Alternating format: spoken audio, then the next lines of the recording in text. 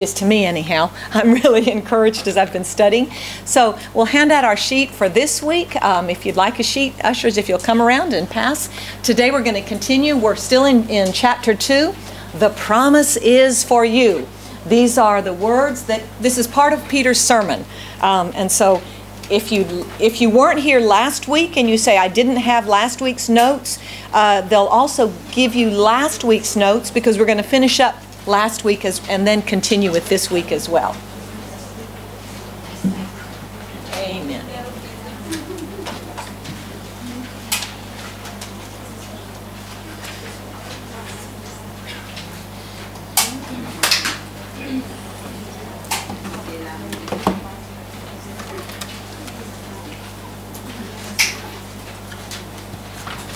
You can follow along if you want to.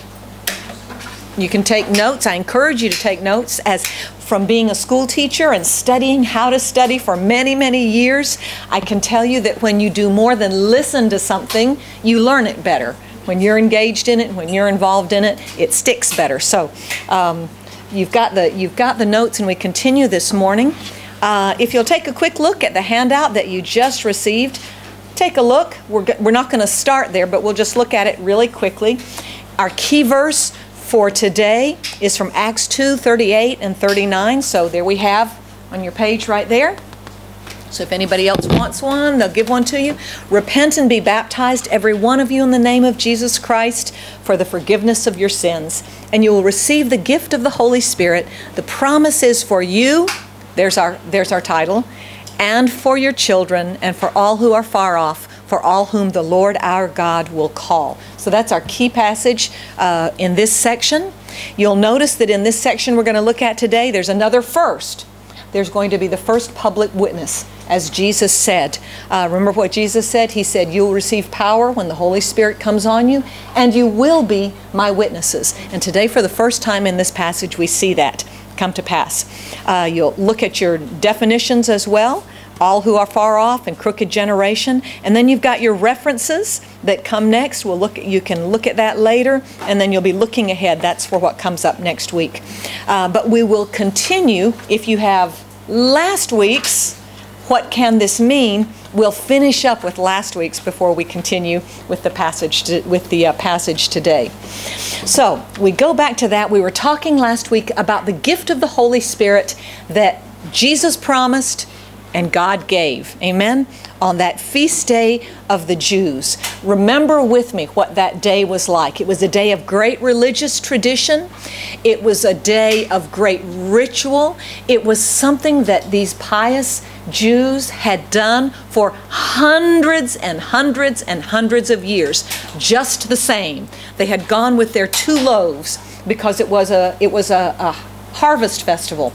They went with their two loaves to the temple and they offered their two loaves as an offering to the Lord, thanking Him for the harvest, the end of the wheat, the end of the barley harvest, the beginning of the wheat harvest.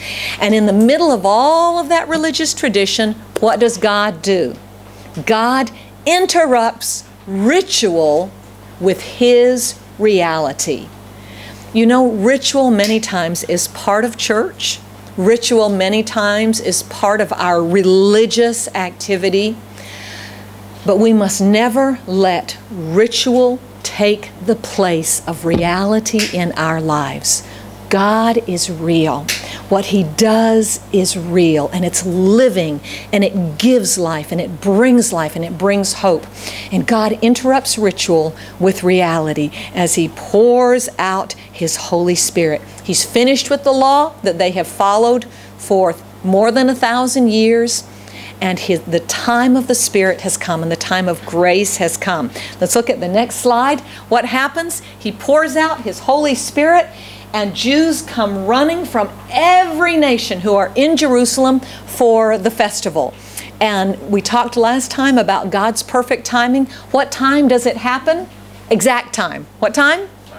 Nine. Nine in the morning. Why is that important? It's the time of the morning sacrifice. At the temple. And so everybody is not in their homes drinking their morning coffee and having their morning bread. They are on the way to the temple or they're, they're walking in the streets towards the temple. So there are a lot of people around. And God chooses just the right time because He wants to know He's doing something different. He wants people to know He's doing something real and that the times, the times, of the past, they're past, and that He's doing something new in their lives. And so He pours out His Holy Spirit, and we look at, uh, we, we talked about this last time, they hear their own language. Luke, when he writes this, is very, very specific. He says three times their own language. We hear them speaking in our own language. These people are speaking in our own languages. And remember, I gave you the example last week of my own grandfather who spoke German. True story. You can't ask him anymore because grandpa's dead now, he's in heaven. Um, but true story uh, of hearing a man who had never learned German, could not speak German, wasn't even educated, begin to speak in German and praise the Lord. And my grandfather understood understood perfectly because he was a because he spoke German. And then I, we told, I told you very briefly uh, the story of B. This is from our own church, B. Moody at Tagaytay. Her dad praising the Lord in another language. And dad didn't know what he was saying, but B understood perfectly. And then I told you the story of Brian, the Canadian businessman who had gone into that to that village, a remote village, and God gave him the language of the village for the two days that he was there. And some of us say, How can this be? This is impossible. You're making this up. You're telling tales, Pastor Jennifer. God is a great God. God can do anything. And God does more wonderful things even than this. And this is truly amazing. And it is amazing. As we go through it, we talked about it before, they are bewildered they're completely amazed, and here they are amazed and perplexed. It blows their minds. It goes beyond what they can understand. Has God ever done that in your life before? Yes, He's done that in my life. God, how can you do that? How can that be? But God can do that, and God does that in this particular situation. Okay, there are two, uh, and uh, let's see, let me back uh, let me back up just a little bit. I was thinking about this as I was preparing. Did you look on your maps? That was one of your homework assignments um, to take these 15 places and see if you could find them on your maps. Don't do it now if you didn't do it last week. You can do it later. But they say, Luke writes, in ev from every nation living in Jerusalem. Were there more nations than this? Of course there were. Of course there were. China's not listed there anywhere, and we know China was a nation at that time and other nations as well. But in the world, in their world, all every nation, they were living there. But I want you to notice something here. Notice that they say, here we are, Parthians, Medes, Elamites, and so on. And then they say Judea. And to me that's interesting because you know what? Judea, if people were from Judea, everybody would understand what they were saying. That wasn't a different language. They would have understood what was being spoken in Judea. That was the area around Jerusalem. So, what does that mean there? Remember, we talked about this last week. The group is from Galilee. And because they were from Galilee, they had a special dialect. But not only did they have a special dialect, they had an accent a strong accent that was very difficult to understand. Now, I gave you my example last week of being a southerner from the U.S., but you know I've been out of the U.S. for a long time. But if you were to talk to DJ this morning, who's only been out of the U.S.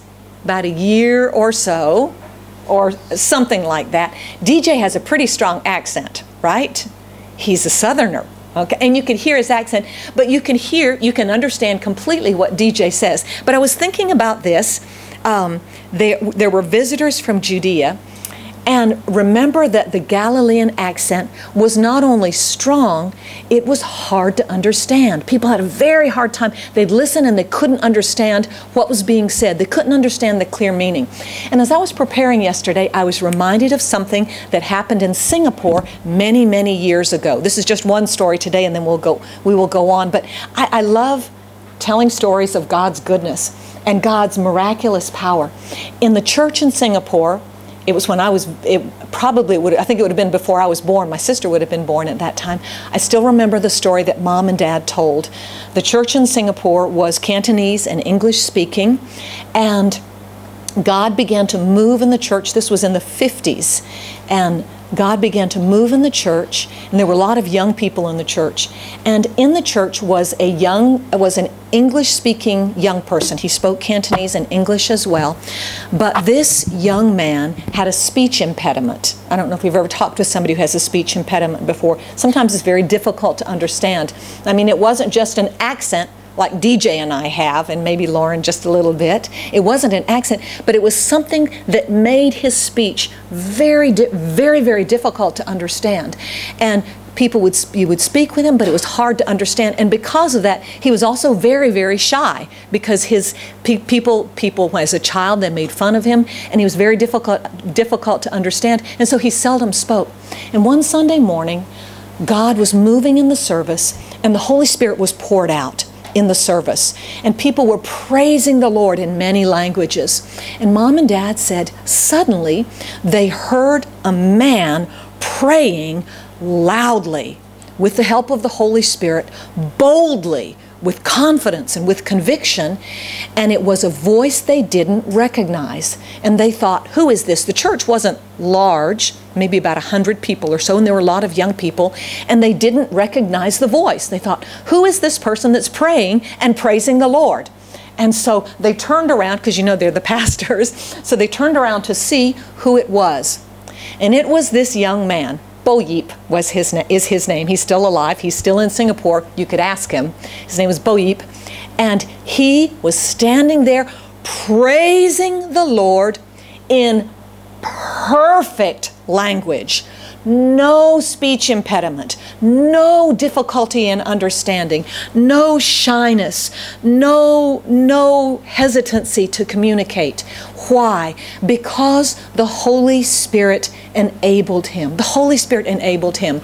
And that's a perfect example, uh, that's a perfect modern day example, excuse me, of what we read here that happened 2,000 years ago. And the Holy Spirit enabled Bo Yip to speak and to pray and to praise the Lord in perfectly understood languages. No difficulty, no lisp, nothing at all. And that is what the Holy Spirit does, brothers and sisters. When the Holy Spirit comes into our lives, when He comes into our situations, He does what we cannot do because He's God. Because He's God. And that's what happened here. Now, Here's this incredible thing that happens. Everybody is gathered, and there are two responses. And you know what? There are usually two responses to the true work and the true moving of God. What is one of the responses? One of the responses is this What can this mean? In other words, I don't understand it. These people were sincere. They couldn't figure this out. How can a bunch of uneducated people from Galilee be doing this? We don't understand. What can this mean? What can this mean? But as you know, when God is moving and working, that's usually not the only response, isn't it? There's another response. Of course, there's the response of, yes, God, this is you and I accept. But there was another response as well. And what, does, what is the next response? Next slide. But there were others in the crowd who ridiculed them. And what did they say? They're drunk. Okay? They're drunk. That tells you a little bit perhaps about what was going on and how things were how things were looking. Now, I have a question I am not the smartest person in the world, but I'm not the dumbest person in the world either. And to me, it seems pretty illogical, doesn't it to you, that being drunk would somehow help a group of uneducated people suddenly, perfectly speak all of these languages. Do you think drunkenness would somehow do that? Is that an effect of drunkenness? Absolutely not. So it's a pretty, to me, it's a pretty lame criticism. It's a pretty lame mockery, but they have no other answer for it. They must be drunk. They must be drunk. And so that's one of the responses. May I say something to you this morning, brothers and sisters, in your own life? When God is moving and working and it's really God, you will often find those responses of people to what's going on in your life. There will be people who will praise God for what's happening in your life and they'll say, This is the work of God in your life. I see what God is doing. Guess what? There will be plenty other people who will mock your change and your life. Have you found that to be true? They will question what's going on. They will they will make up some excuse. Oh, you've just, you know what people sometimes say? Oh, you've got religion now. Religion can't change anybody's life, can't it? Only God can change people's lives. But you will often find this response. So I want to tell you something right now. When that's the response you get in your life, when God is doing something and there's a change in your life, don't let it discourage you. Don't let it turn you back. Don't let it turn you away. You keep on going with God. Because if it happened then, 2,000 years ago, to a wonderful thing that God had done, it still happens today as well, right? And most of us, if not all of us, have been ridiculed at some point. You know, years ago, uh, when Tom first became a Christian, Tom, wave your hand. There you go, right back there. His friend, Big Steve, who will be in the second service, by the way, Karen, Tom's British, Karen, and you know you got to be careful about religion, right? Tom became a Christian first, and Steve and others had plenty to say about the change in his life, didn't they? Tom wants to be polite, so he's just smiling. and your family, that's right. And it's often people that are the closest to us. What's going on? What's wrong with you? Why have you changed? Brothers and sisters, you hold on to what God has done in your life and you keep on going with it and you stay with it and you walk with God and don't let the ridicule and the mockery of other people turn you back from the great things that God is doing in your life. Those of you who are young people this morning, right now, young people, it's just David and Joshua. But David and Joshua, I'll tell you right now, if you follow God and as God changes your life, when you're in school, there'll be plenty of room classmates who will look at you and kind of make fun of what you do or what you don't do. But the work of God is real in our lives and we keep on going. Amen. Amen. What if, brothers and sisters, what if 2,000 years ago the mockery of the people had turned this whole crowd, oh, we better not do this anymore, we better not say this anymore? You and I wouldn't be sitting here this morning because out of this they went out into the world and gave the message of the good news of Jesus to the world. And that's why you and I are here today. And so we see this. So, here these two responses. So let's see what happens next. Peter takes this opportunity when they say, oh, they're just drunk and he begins to preach. Do you know what? What people say to you, we, you know, we sometimes have, you know, when we want to share Jesus with people, we sometimes have our list of things already. I'm, I'm going to share Jesus with somebody today. Okay, this is what I'm going to say. I encourage you, be prepared, but I encourage you even more, be led by the Holy Spirit. And the Holy Spirit will open doors and provide opportunities for you to share God's love and God's truth. And Peter uses this opportunity. They mock them and say, They're drunk. And Peter stands up and he uses the you're drunk to say, Brothers of brothers, fellow Jews, listen carefully. We are not drunk. Don't make a mistake about this. These people are not drunk, as some of you are assuming. Nine o'clock in the morning is much too early for that. And so he begins his sermon based on what they've said. And, brothers and sisters, a lot of times when we if we will be sensitive to the leading of the Holy Spirit, He'll give us opportunities based on what people say. And we can respond to that. And so Peter gets up and he begins to preach. And he makes a very logical case that drunkenness is not the cause of what has just happened. So, what is Peter's explanation for what's happened? Let's see what comes next. He says, No, we're not drunk verses 16, 17, and 18, what you see was predicted long ago by the prophet Joel. Here's the prophecy. In the last days, God says, I will pour out my spirit upon all people. Your sons and your daughters will prophesy. Your young men will see visions, and your old men will dream dreams. In those days, I will pour out my spirit even on my servants, men and women alike, and they will prophesy. May I tell you why I've chosen this as our key verse for this passage? Because what is said here in these three verses for them was revolutionary. It was completely revolutionary. We're used to this at this point. But for the Jews who were listening, this was amazing. Amazing. God didn't pour out His Spirit on ordinary people. And by the way, we sometimes feel that way too, don't we? God speaks to special people. God will talk to Pastor Renee. God will, will talk to Pastor Jennifer and maybe to, you know, Sister Ida because she's a Bible teacher. But God talks to them, but not, not to me because I'm just an ordinary person. But the time of God and the times of the Holy Spirit, God changes everything. And for that crowd listening to hear that God would give His Spirit and would pour out His Spirit on everyone was almost too hard to believe that God would put His Spirit on women and not just on men was absolutely, excuse me, was absolutely incredible because you know, women in the whole order of things, sorry, women, women were way at the bottom of the totem pole. They were.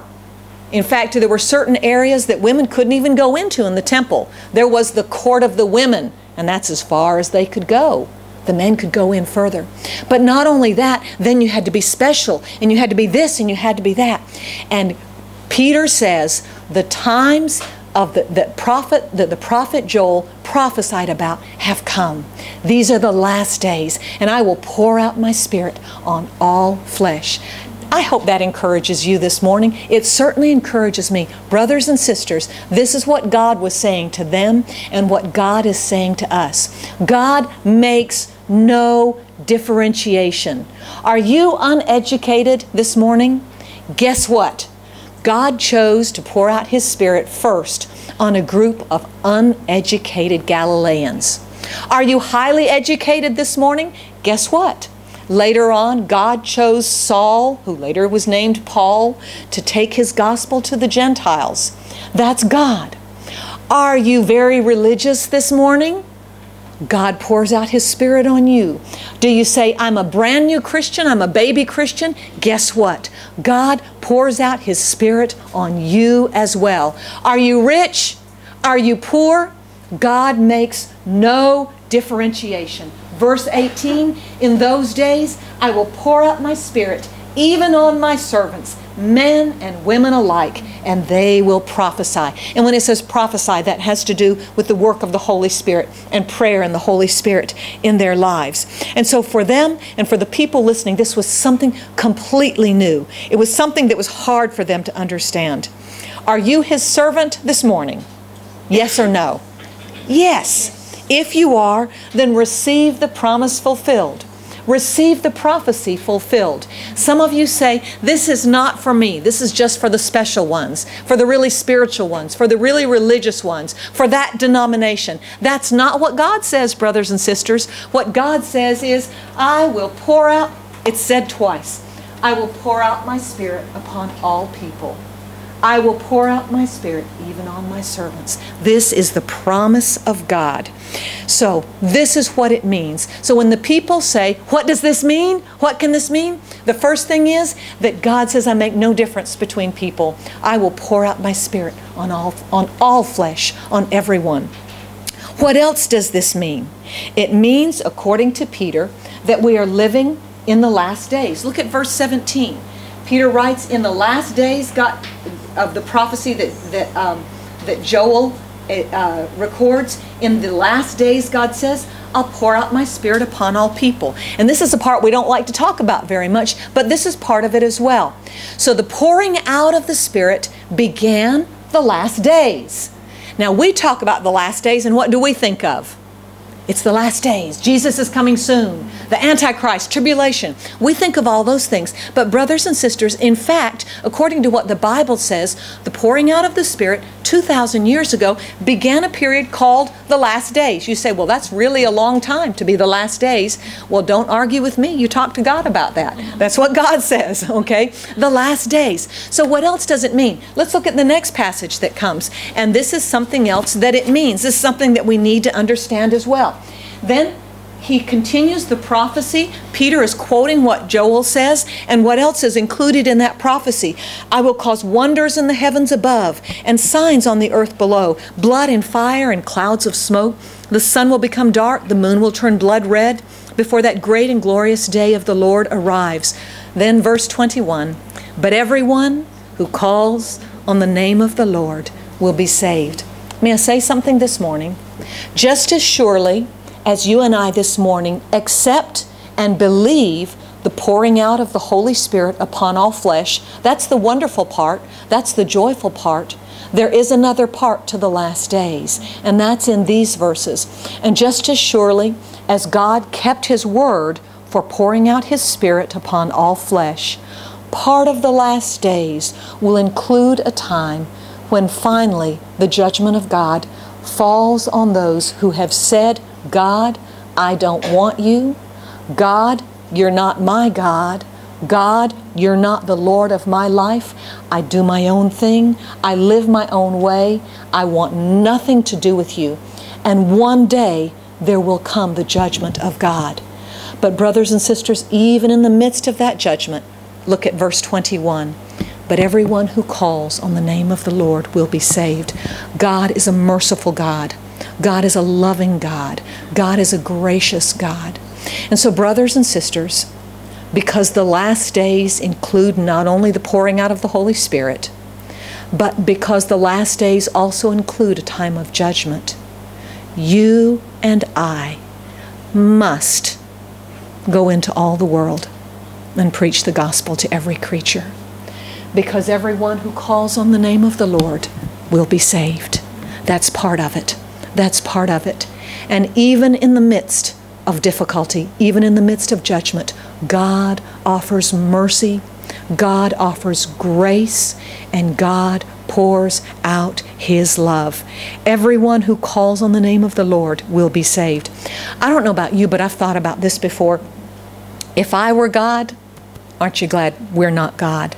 If I were God, I don't know if I could say verse 21 because I look at this world and to me, there are some people that are so awful. We look at history, we look back in history at terrible people, at terrible leaders, and the awful things that we've done. And you and I say, they're not worth being saved. They deserve only judgment. They don't deserve mercy. They don't deserve grace. They don't deserve love.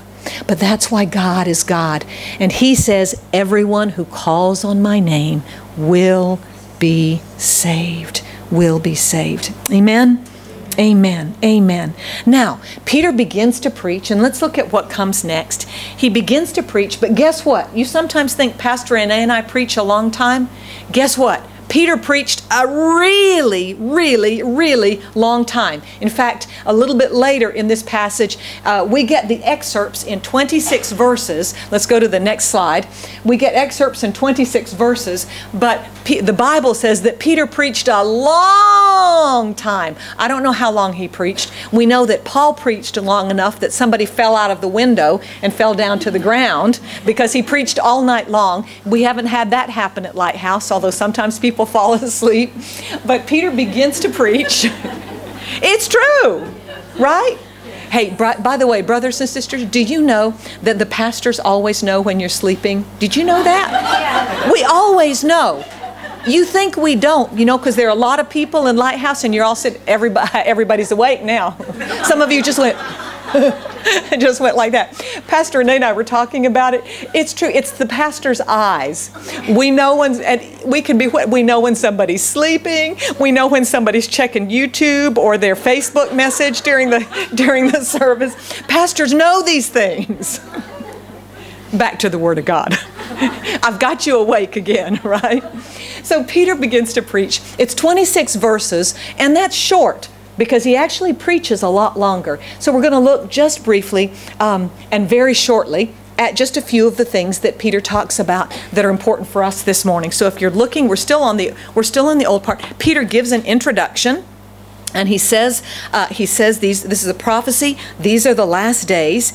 And then he begins because he's preaching to people who do not believe in Jesus. He's preaching to people that are waiting for a Messiah still to come. So we got to keep in mind why Peter's preaching what he's preaching. So, what's the first thing? What's the first point he makes? First of all, he says, Listen, God publicly endorsed Jesus the Nazarene by doing powerful miracles, wonders, and signs through him, as you well know. Now, why does Peter begin this way? Because Peter's going to reach the point at the end of his sermon that, well, even before the end of his sermon, number one, that Jesus is alive that Jesus is the one is the Messiah, that Jesus is God, and finally that they killed him. That's where he's going to reach. And so he wants them to understand very clearly he's going to get from where he is all the way to the end. And so he's going to give them four proofs that Jesus is still alive that he has resurrected and that he's the Son of God. So, what's the first proof he gives them? And by the way, I'm really compressing this, there's much more than this. What's the first thing he does to show, to tell them that Jesus is of God and that Jesus has been raised from the dead? He says, first of all, he uses the life of Jesus. The first proof was the life of Jesus and his mighty deeds to support the resurrection. That Jesus could not have done that without being of God and born of God. Uh, and it says, But God knew what would happen, and his prearranged plan was carried out when Jesus was betrayed. With the help of lawless Gentiles, you nailed him to the cross. Guess what, brothers and sisters? This sermon would not be popular. I don't know about your country. I can tell you about America. This sermon would not be popular in America today. Nobody wants to hear anything that strong. Nobody wants to hear anything that convicting. You killed Jesus. You killed Jesus. But that's exactly what Peter says. Because if they're going to know what truth is, they've got to hear this. If they're going to repent, they've got to understand what they've done. If they're going to turn around, which is part of repentance, they've got to know the way they've been going and the way they've got to go. And so Peter doesn't beat around the bush. He says, You nailed him to the cross with the help of lawless Gentiles. But he says to them, The first proof was the life of Jesus and his mighty deeds. And then the second proof is the prophecy of David from the Psalms, all the way back in the Psalms. Verse, 20, uh, verse 25 For King David said this about him For you will not leave my soul among the dead or allow your Holy One to rot in the grave. Now, how many of you have been to Israel before? A few of us have, right? Maybe two of us have. I don't know about you, but when I went to Israel and when I was in Jerusalem, I looked around and I did not see David's tomb anywhere. Did you? Nope. We didn't see David's tomb. But this tells us something. When this sermon was preached, at that time, David's tomb was still there and all of the all of the Jews would have known this is where David our greatest king is buried. They would have known that at that time. That's why he preaches uh, and you'll have to say but where is that? You've got to read your bibles for more of that. You look at verses 26 28 and 29 because Peter says David is lying here still among us today, as you all know, as you know very well. But David gives us prophecy. And so Peter makes the very logical argument. It couldn't have been it couldn't have been David. This is a prophecy about Jesus. You know what encourages me? Peter was not was not as we say the brightest bulb in the box. Do you know what that means? He wasn't particularly educated or smart or logical. But when you look at this sermon that Peter preaches. It's a great sermon. It's incredible. It's so well put together. It's so logical. It's much more logical than Peter ever was when you get to know his life. But this is what the Holy Spirit does. The Holy Spirit takes you where you are. The Holy Spirit takes what you are and who you are as you come to the Lord and give yourself to Him. And the Holy Spirit does something incredible in your life. He makes a change, He makes a difference. He transforms you and He transforms me. And so here's the second second point. He says, This prophecy is not about David. See, his tomb is right here. And I think it's possible that Peter may even have pointed in the direction of the tomb of David. Probably. It's here, or it's here, or, or it's here. And so everybody would have thought, well, that's true. We, we honor David as our greatest king, and here he is. His tomb is right here. So it wasn't about David. So the second proof that he gives is the prophecy that this is about Jesus. Okay? And then we go a little bit further. What comes next? Let's look at the next one.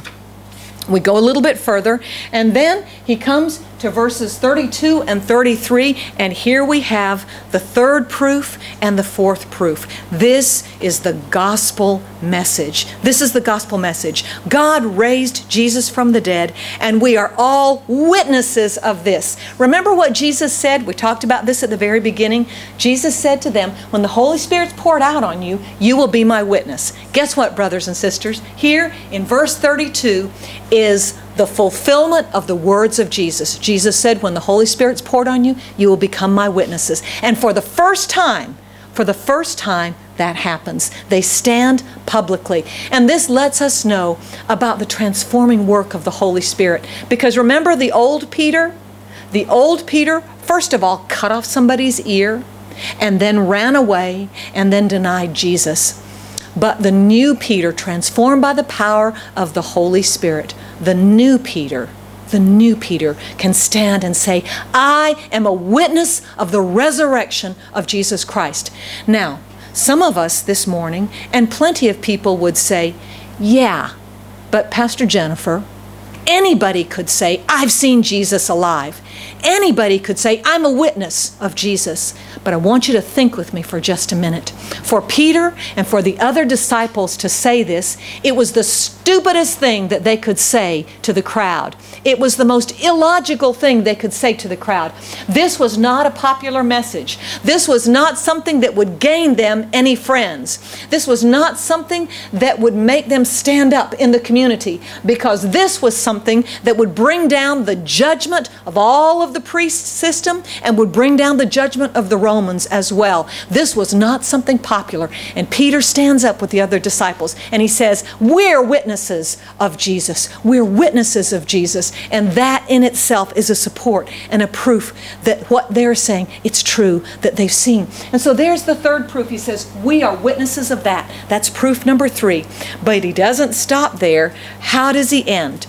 And he ends with verse, well, he doesn't end with verse 33. He keeps on talking, but he ends with the four proofs. He says, Now he's exalted to the place of highest honor in heaven at God's right hand, and the Father, as he had promised, gave him the Holy Spirit to pour out upon us, just as you see and hear today. And here's the, here's the great part about this fulfillment and this proof. For the disciples, they understood. Jesus said, When I go back to heaven, I will ask the Father, and He will give the Holy Spirit. And so, for the disciples, do you know what this told them with great joy? They confirmed and they knew Jesus has gone back to heaven. He's with the Father and he did exactly what he said he would do. He has poured out the Holy Spirit. And so they use that as the fourth proof and they say this is the confirm this is proof that Jesus has been raised from the dead as he promised. Remember Proverbs 30 verse 5? What does Proverbs 30 verse 5 say? God God keeps every promise he makes. That's right. Proverbs 30, verse 5. God keeps every promise he makes. Hallelujah. And so he says, the Father, he's, he's just as he promised, he gave the Holy Spirit. Now, this is so great. And wouldn't you like to stop right here? This is a high point, isn't it? Wouldn't you like to stop right there? Yay! God has given the Holy Spirit. Jesus is back in heaven. But Peter doesn't stop there because Peter's purpose is not just to say Jesus is back in heaven and Jesus is raised from the dead. The purpose, Peter's purpose, is to reach them with the same truth that they too would respond. And so he doesn't stop there. Let's go a little bit further. Look at the next slide. What does he? He keeps on preaching. Oh, what a bummer. Oh, what a bummer. He comes to verse 36 and he says, So let everyone in Israel know for certain that God has made this Jesus, whom you crucified, to be both Lord and Messiah. That's kind of a downer, isn't it? To come to this point. He says, So you should know Jesus, the one you crucified, he's Lord and Messiah. Why does Peter use both phrases, Lord and Messiah? Messiah, we understand, right? Messiah was one sent from God. That's what it means, anointed and sent from God.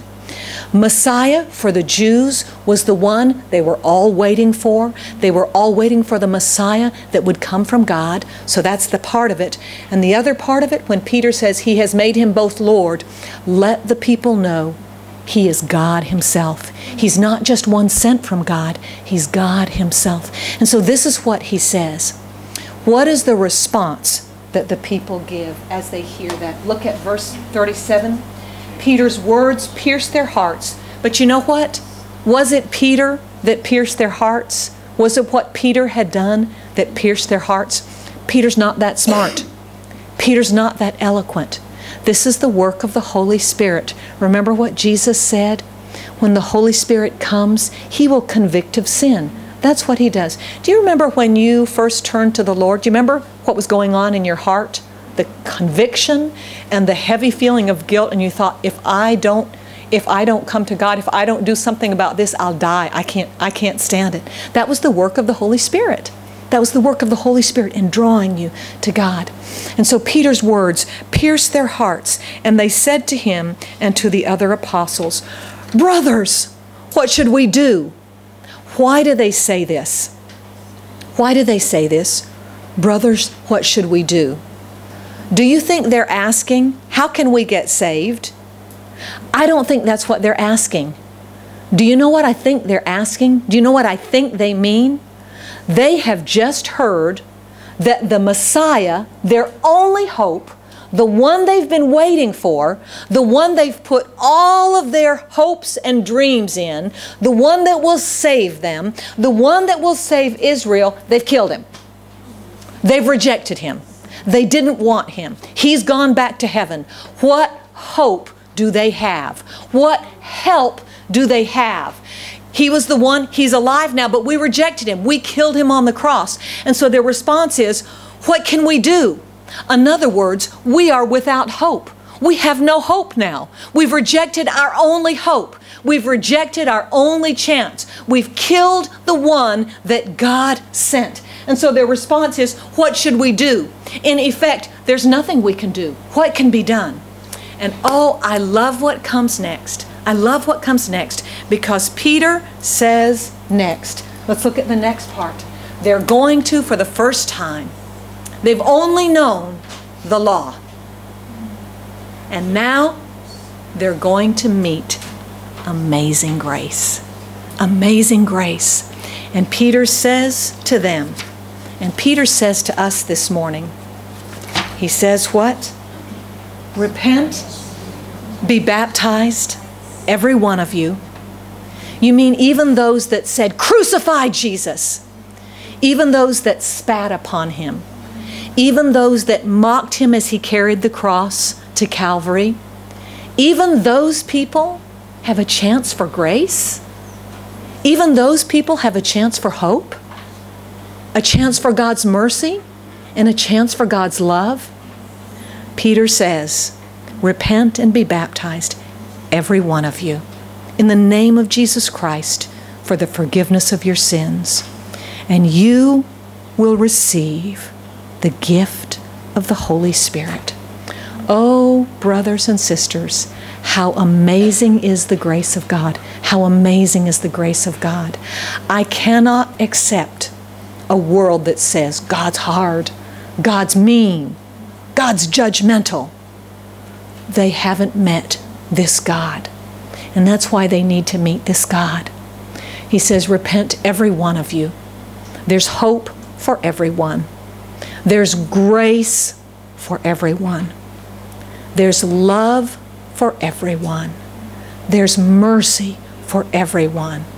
For every person who has rejected God, there's still love, there's still grace, there's still mercy for those who have spat upon him and mocked him and ridiculed Jesus in the name of the Lord.